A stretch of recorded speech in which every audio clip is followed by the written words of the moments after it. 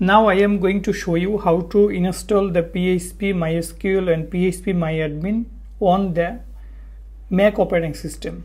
My operating system is Mac and I can easily install those things using the terminal. That means I will run some commands and then I can install those.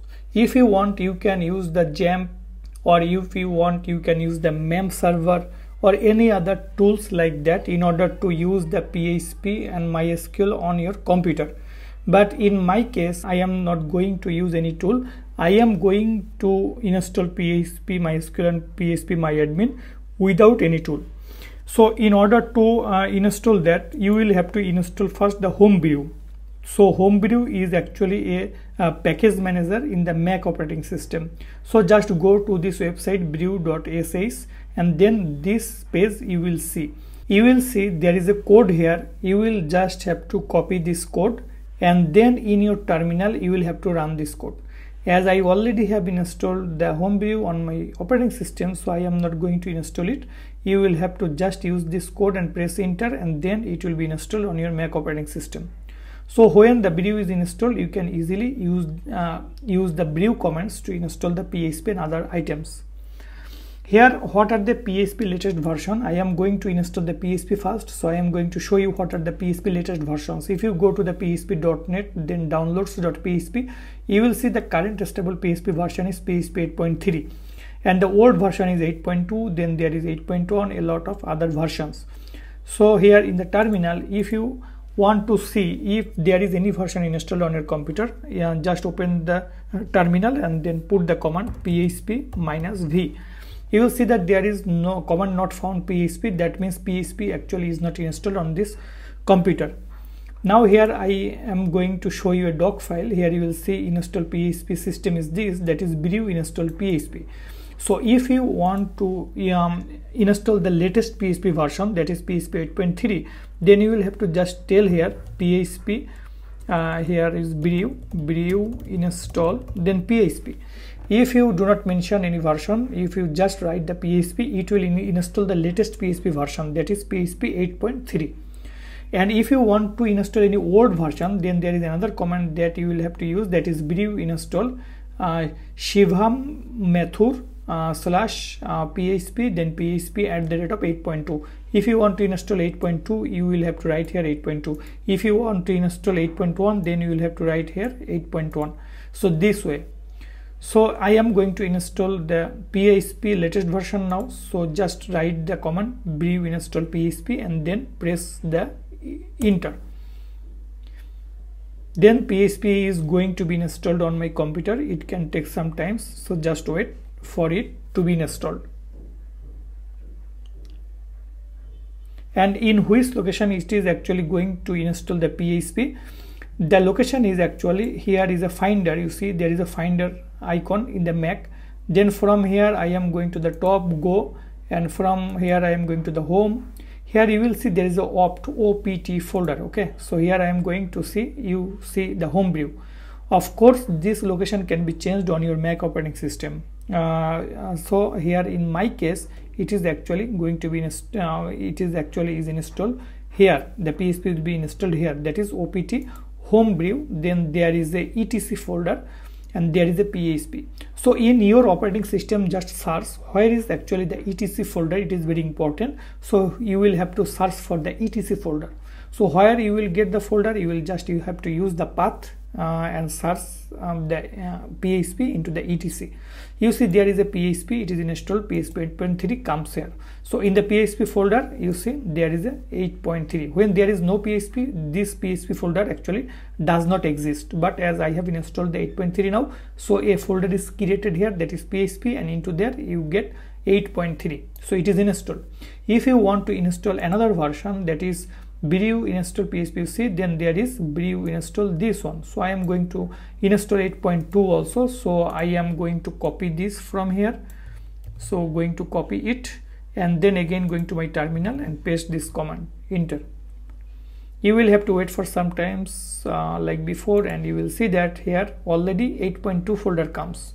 So just wait for some times. Yet yes it is uh, installed. Okay so mm, uh, this thing is installed on here. And if i want to use the 8.1 also i can also use here 8.1 enter you will see there will be another folder. That means 8.1 version will come here.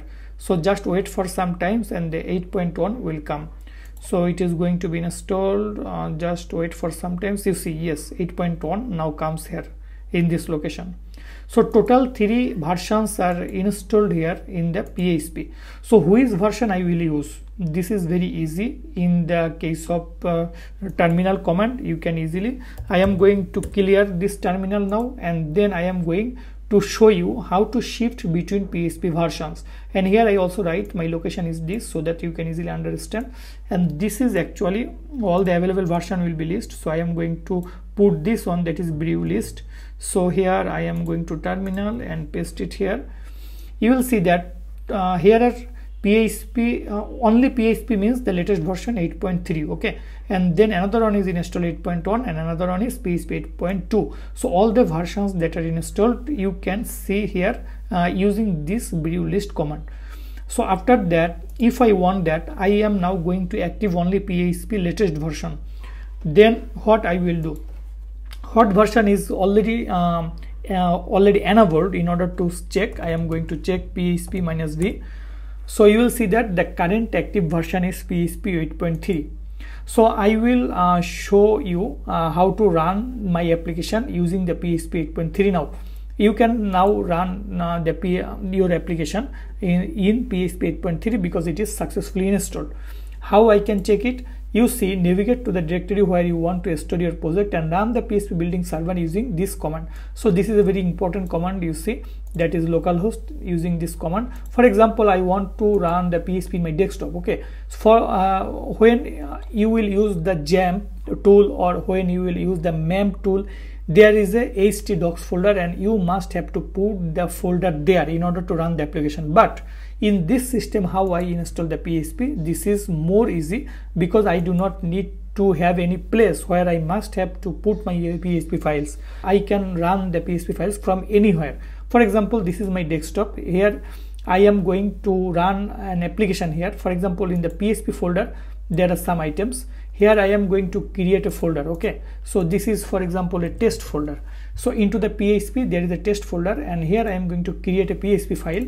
So i am going to run a command touch command to create a file for example index.php so into the test folder i just have uh, make this file index.php now i am going to open my vs code editor and opening this here so in my php uh, index.php i am going to run something like that.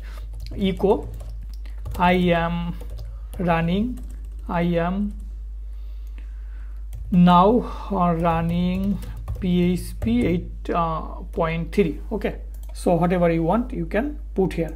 So this is actually or, or here i can just uh, put no version. I am now running php uh, that means it should work well now how i can run this application? Here you see this is the main uh, folder that is my project folder test folder okay? So just right click here new terminal here. I will have to run a command that is php minus s and then localhost. And for example you can put any port here for example 8000 so you see a development server is running. So i can just use this command in my browser to run that php file. So like this. I am now running PHP so that is working perfectly. If I want to check the version for example here I am going to create another file. That is touch version check.php and now in this version check.php file I am going to open with my editor. Like this version check. So here I am going to run php info this function. And now if I run this file version check what will be happen? Version check.php right? So here i am going to run version check.php enter. You see the current php version is php 8.3.0 now i want that my application should run into the php 8.1 or 8.2 how i can enable it? I can easily do that using the command here okay? So here what are the commands? I am going here. Here i write the commands. That is uh, the brew unlink. Unlink means the current version i will have to unlink first then link a new version. Link means it will be run uh, now okay? So here for example now it is running php so i am going to call brew then unlink. So i will unlink the php and then uh, the php 8.3 is stopped and now i will link hot and then uh, sorry not it here. Then i will link hot i will link php uh, at the top 8.1 for example. So okay so if i now run this page um, this is not running i will have to stop the server probably. Uh, so i am going to stop this terminate and then i again run this server that is yes localhost okay. So let's check it. You see now the php version is 8.1.26 so now the php is running in this version. That is 8.1 so in this way if you want back again so what you, you will do? This is very easy. So if you want back to the php latest version you will just have to do the same thing. That is you will have to unlink now php 8.2 and then you will have to link now php that means 8.3 so link php now i am going to stop the development server again now. That was here running. So i am going to close it. Okay. And then again I am going to run here the terminal and this one. Now if I run it you see now it comes again. That is PHP version 8.3 so the latest version is again running here so in this way you can easily install the PHP on your computer. Now after installing the PHP now I am going to install the MySQL. In order to install MySQL I am going to copy this one that is brew install MySQL.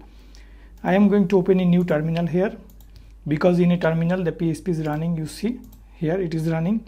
So I am just uh, going to open a new terminal and then write my codes here that is brew install mysql just press enter it is going to be downloaded and installed on my PC and then after this I am going to run this one that is start MySQL service. So I am going to copy this. And when it is installed you see this is installed and now I am going to paste it. And now the service is started successfully started MySQL. After that you see secure MySQL installation. I am going to copy it. And then I am going to run this here. Here you see it is asking me a password but first time when you will enter here actually there will be no password just press enter and then it will work. But I have set up a password in this PC earlier because when I am going to make a tutorial for you but before going to do that I uh, installed it on my Mac first time. So in that time I set a password here 1 2 3 4 5 6 7 8 1 to 8 okay? So that password I am going to give here now 1 2 3 4 5 6 7 8 then enter you uh, are seeing that estimated strength is this. Uh, when you will first time set up the password then there will be total three strength. One is low another one is medium another one is high. I selected the password strength as low. That means uh, minimum 8 character and 1 to 8 this is okay for the low strength password no problem. So it is asking me if i want to change the password for the root. If you want you can change the password again uh, that is 1 2 3 4 5 6 7 8 you can change it but i am not going to change it so i am going to press any key here. Then it is asking me remove anonymous users. If i want to remove anonymous users you can just press y but i am not going to do that so press enter again. Uh, disallow root login remotely. Yes i can just press yes and remove test database and access to it. Okay yes i am going to press it. Reload privilege tables. Now i am going to press yes y now all is done. So MySQL installation subject is complete. Now I am going to install the PHP myadmin in this terminal. I am going to paste it. Brew install PHP myadmin. Then PHP myadmin is going to be installed. After installation I will create a symbolic link. So I am going to copy this one here. Then you see it is installed. Then paste it here. Enter. Password. This password is actually the system password. That means my macbook login password i am going to give here then enter yes this setup is done and then start php myadmin. What i did in the case of php you know i started here the localhost uh, 8000 and similarly here I can create another one PHP but here minus T. So PHP minus S then localhost it is okay. Just after that I will have to start this one minus T and then opt a homebrew share PHP myadmin okay.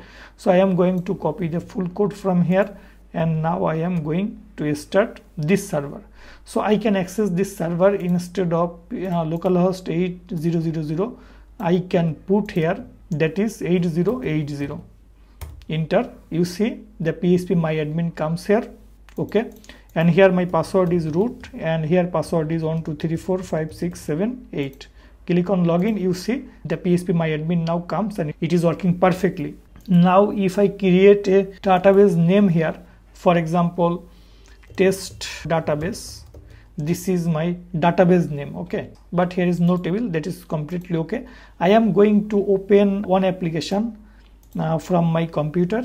Uh, so from here i am going to open the config file. So here i am going to bring the config file. So this is a database connections config file. So i'm going to copy it. And here i am going to paste it in my main index.php and here my database name is test database. You see if I do not give any password here it will show an error. If I now go here and here refresh the PHP you see the connection error right? So access denied for uh, root and localhost. So you must have to give a password. If I give a bad password that actually is not Uh, my password using password yes but connection error. So connection is not going to get. So here I am going to give the real password now 1 2 3 4 5 6 7 8 now if I go here reload it again there is no error anymore. That means the database connection of MySQL with the PHP is working perfectly. So my PHP setup is completed MySQL setup is completed and PHP my admin setup is completed and everything is working perfectly